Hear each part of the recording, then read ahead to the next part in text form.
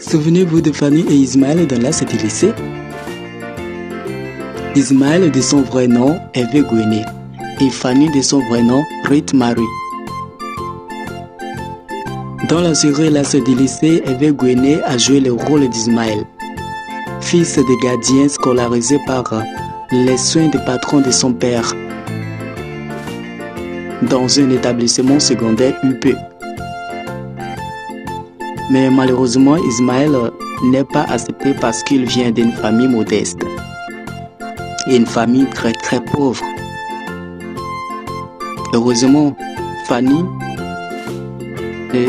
la fille du patron de son père, lui vaut une amitié à toute épreuve et ensemble ils affrontent et ensemble ils affrontent toutes ces situations.